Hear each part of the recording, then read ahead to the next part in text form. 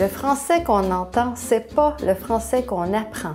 La langue parlée est très différente de la langue écrite.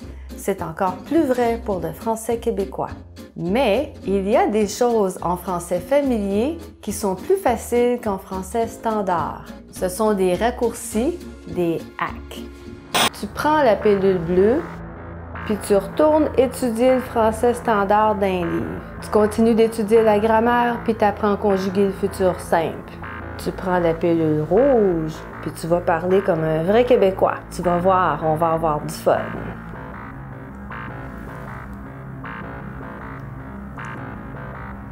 Hum, ça goûte le pâté chinois.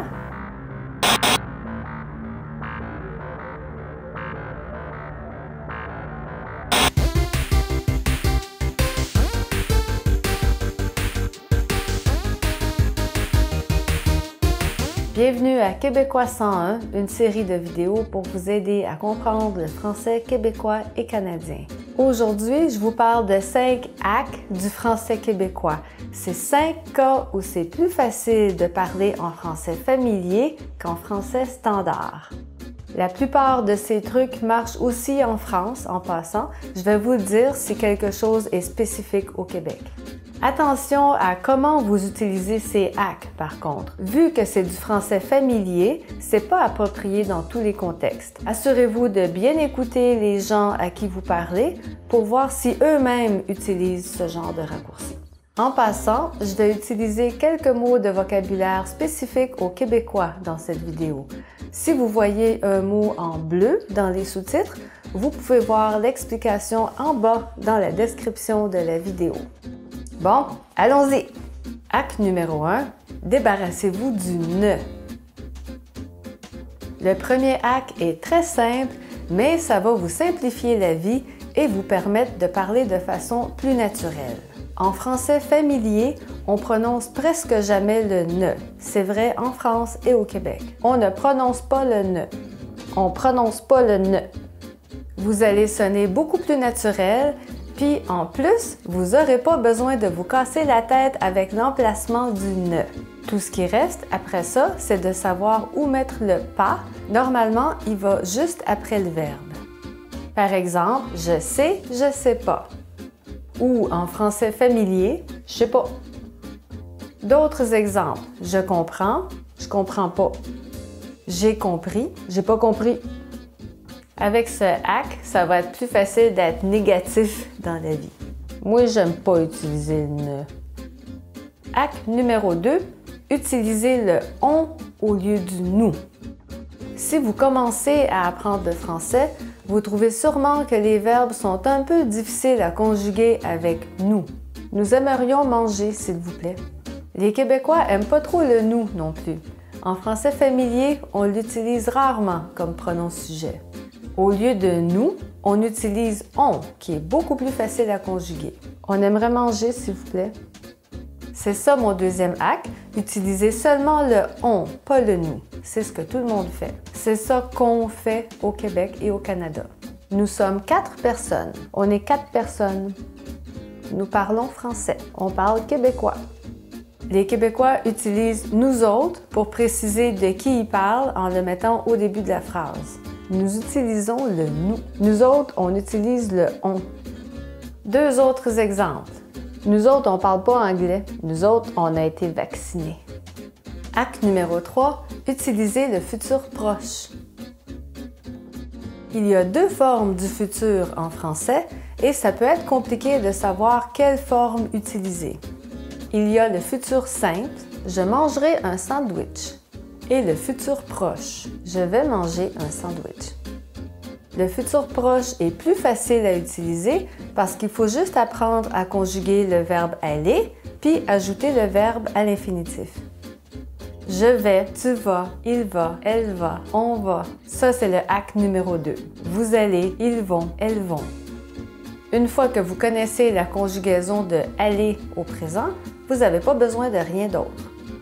Donc, si on veut parler de manger un sandwich, on va dire je vais manger un sandwich. Tu vas manger un sandwich. Il va manger un sandwich. Elle va manger un sandwich. On va manger un sandwich. Vous allez manger un sandwich. Ils vont manger un sandwich. Mon acte numéro 3, donc, c'est de seulement utiliser le futur proche.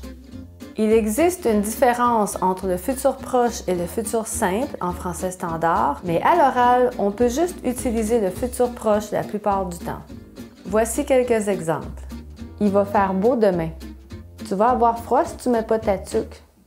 Vous allez voir, c'est beaucoup plus simple avec le futur proche. C'est le temps pour une petite question quiz. Qu'est-ce que ça veut dire sentir le swing? Est-ce que ça veut dire 1. Avoir une odeur de sueur? 2. Avoir du rythme pour danser? 3. Avoir le vertige? Je vais vous donner la réponse à la fin de la vidéo. Acte numéro 4. Utiliser les questions avec intonation. Une des difficultés pour les personnes qui apprennent le français, c'est d'apprendre à formuler des questions. Voulez-vous du café? Qu'est-ce que vous voulez boire?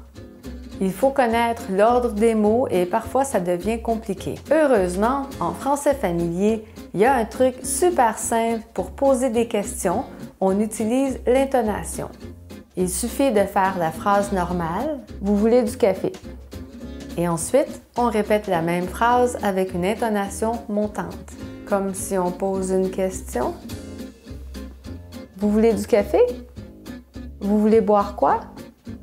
Pour une petite touche québécoise, quand vous posez une question oui ou non, vous pouvez ajouter un tu après le verbe. Tu veux-tu du café? J'ai déjà fait une vidéo sur les questions avec tu où je parle également des questions avec intonation. Vous pouvez la voir ici. Pour ce truc, la seule chose à retenir, c'est que vous pouvez faire une phrase normale et utiliser l'intonation pour transformer la phrase en question. Vous avez compris? Acte numéro 5. Utiliser les anglicismes. Mon cinquième acte est un truc plutôt controversé, c'est ce que les hackers appelleraient un hack de chapeau noir. Les Québécois et les Canadiens emploient beaucoup d'anglicismes dans la vie de tous les jours. Si vous écoutez des Québécois parler, vous allez entendre beaucoup d'anglicismes. En passant, même si les Français utilisent aussi des anglicismes, ils sont en général très différents des anglicismes utilisés au Québec. Ici, je vous parle seulement des anglicismes québécois.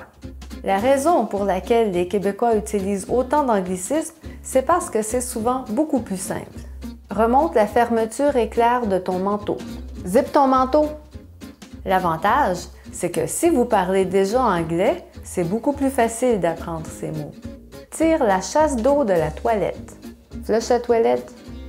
J'ai mis mon pain à griller dans le grille-pain. J'ai mis les toasts dans le toaster. Pourquoi je dis que c'est controversé?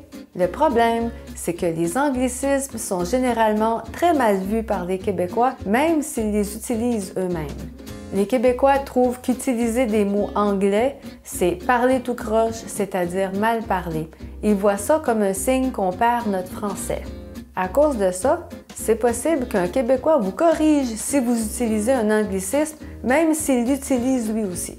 Tu devrais checker tes breaks. Bonne idée, je vais checker mes breaks demain.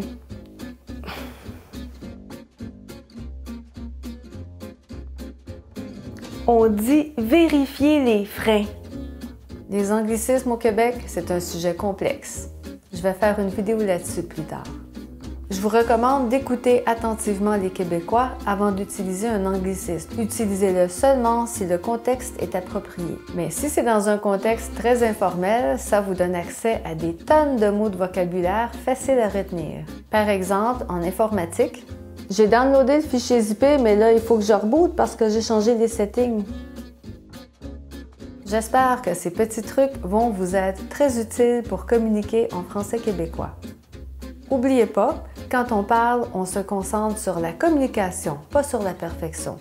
Ces trucs vont vous aider à communiquer plus facilement, même si ce n'est pas toujours parfait comparé au français dans les livres. Il faut aussi faire attention au contexte. Hein? Ces trucs de français familier, c'est pas toujours approprié, en particulier dans des contextes plus formels. La meilleure chose à faire, c'est d'écouter les gens autour de vous pour voir si eux-mêmes utilisent ces trucs. Si oui, ça devrait être correct. Si vous réussissez à utiliser ces trucs dans le bon contexte, ça va vraiment vous simplifier la vie. Ton ordinateur portable ne redémarre pas, nous allons vérifier les paramètres. Ton laptop, il reboot pas? OK, on va checker les settings. La meilleure façon d'acquérir ces raccourcis, ces hacks, c'est de les entendre dans un contexte naturel. Écoutez du contenu que vous comprenez et que vous trouvez intéressant et avec le temps, vous allez acquérir ces structures naturellement. Pour plus de contenu en français québécois, vous pouvez aller voir ma page Patreon. Je remercie d'ailleurs tous ceux et celles qui rendent ces vidéos possibles. Je remercie en particulier mes abonnés VIP, David, Heather, Paul et Ellen. Si vous avez trouvé cette vidéo utile, s'il vous plaît, cliquez sur j'aime, ça va aider d'autres personnes à découvrir mes vidéos. La réponse à la question quiz, c'était 1. Avoir une odeur de sueur. Le swing, c'est l'odeur de la sueur, de la transpiration, surtout quand on a travaillé fort ou qu'on a fait du sport. Ça sent donc bien swing ici! On peut aussi dire sentir le tour de bras. Le tour de bras, ça veut dire le dessous du bras, donc l'aisselle. Connaissez-vous un autre hack pour parler le français québécois? Indiquez-le dans les commentaires. À bientôt pour une nouvelle vidéo Québécois 101. Il n'y a pas de cuillère, il n'y a pas de cuillère, il n'y a pas de cuillère, il n'y a pas de cuillère.